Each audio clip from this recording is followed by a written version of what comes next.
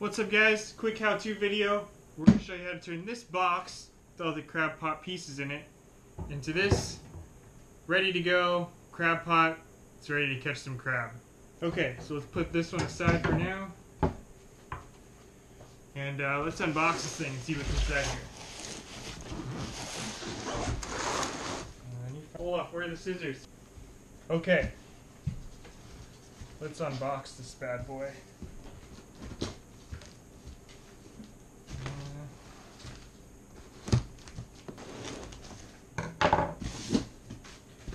This is a good setup, especially if you're just getting into crab crabbing and you don't really know what you're looking for. This is a good box to uh, start on.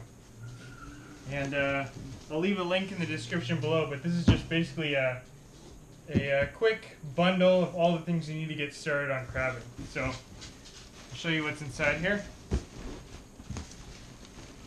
If I could get it out here.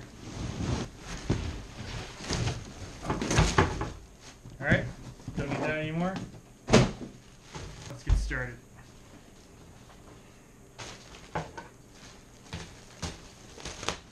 Open up here. few bags. Get that out. Get that out. Okay. Need that. So what we got here this is the actual pot. So this is going to be the bottom. I think. Yeah, that's going to be the bottom. Two? I think we actually have two pots in here.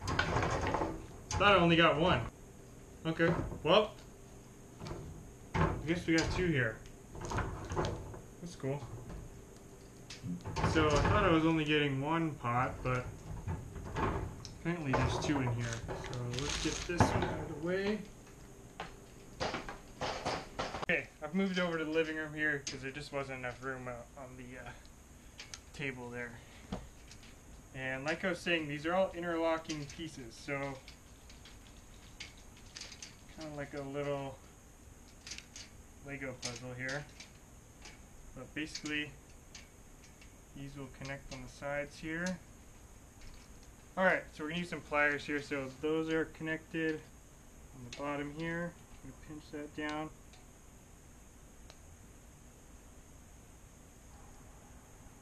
Okay. That side's good. Now we're going to do the same thing for all four of these. Okay. Alright. So those are in and those are all pinched down.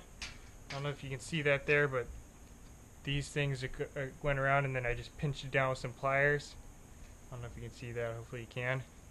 Anyway, so those are all pinched down and I'm actually going to leave these other two, the ones that flap up on the side, I'm going to leave those um, unpinched down because that way when we're not using it, so they're set ready to go, when we're not using it, we'll undo it and it can fold up easier for storage. Okay, so we got our pot set up here. Now we gotta attach everything else. So apparently this set comes with two of everything. So we anticipating that was just one. So we get two, even better. So there's a float, the rope to attach this to the other rope, show in a second. A crab gauge, which you need for measuring a crab, and 100 feet of rope. And this rope is leaded rope, and I'll go over that later, but that's important as opposed to regular rope. So, first thing we're going to do is we're going to hook up this to the crab pot. And so I pop that out here.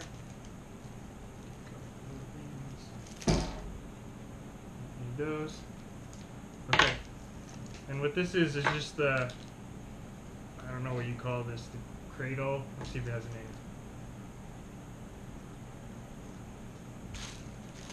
No name. Okay, I don't know what we're going to call this. But basically, this is going to be the stuff that hooks onto the top of the crab pot. So you got one in each corner.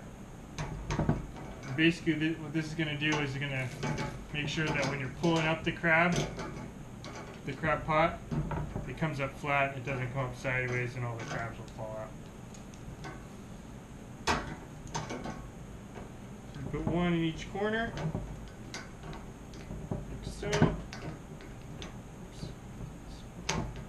Alright, it, like that.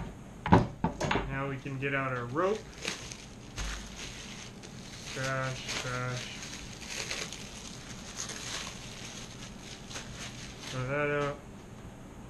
Okay, and then here's our leaded rope. So we're gonna hook up one side to this cradle here.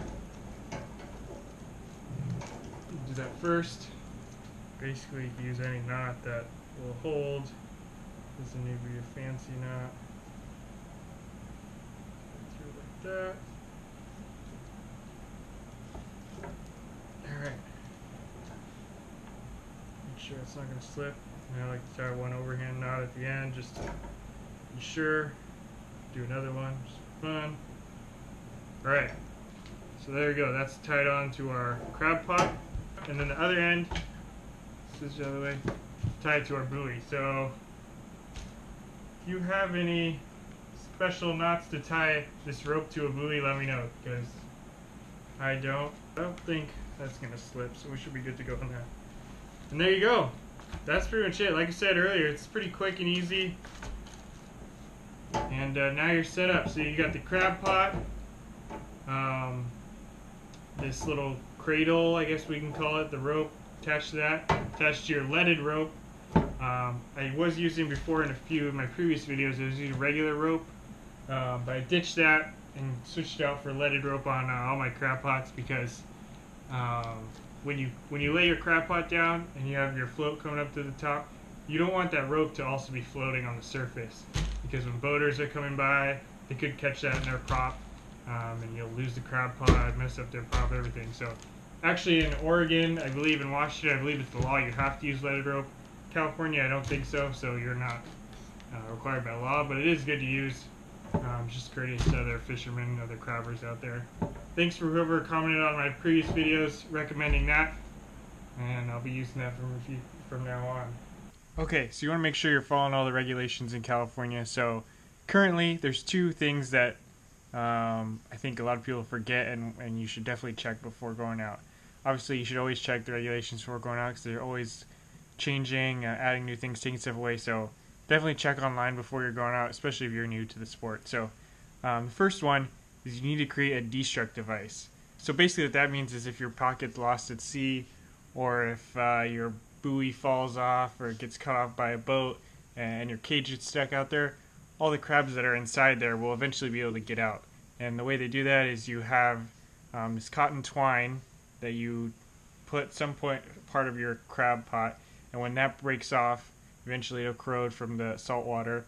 Um, you need to have an exit way for the crabs to go out, and that that exit way needs to be at least five inches in diameter. Um, so what I've done on my crab pot is I cut off the, or I didn't cut off, I bent in the corners of this part here on top, and then as you can see here, the diameter is five inches across. Uh, so that complies with the state regulation. And then the second one is you need to have what they call the Go ID, um, and it's a 10-digit number. You can find it on your fishing license, um, and you just need to have that on your crab buoy. So I like to just right here get a good um, permanent marker. Um, so it's going to be in the salt water, so it needs to make sure it's going to be permanent. Um, if I had a bigger one, I'd use it, but this one will do. So basically, you want to put your number here on the white part. I'm just to write it right here. And uh, you want to make nice thick letters um, because like I said, it's going to be in salt water, so you don't want it to be falling off. So I'm going to go ahead and do that now. So there's the pot we just put together. And this is the one that I already had. And just a couple extra things that I also like to add um, that don't come in this kit. I'll leave them linked in the description below. One is this bait cage that we put in here. And basically this is where we can put our chicken or fish carcass, whatever bait we're using. And I just zip that, zip tie that to the cage here. One on this side, one on the other side there. So that it doesn't, you know, move around when it's down there at the bottom. And then also this little metal clip here. I'll take this off. And this is just a little clip on, so I'll hang this from the top here. and then you can put in any, again, fish carcass. Um, this I like to use this one for the fish carcasses, so you can just string them on there and they can just hang, um, because oftentimes they won't fit in this cage, and then I'll fill this with chicken or whatever other bait you're using. Um, but yeah, other than that, those are the only other things that I really need to add on, other than what comes in our set. But uh, there you go. We started with uh, a bunch of pieces. Now we got two working pots. We're ready to go catch some crab.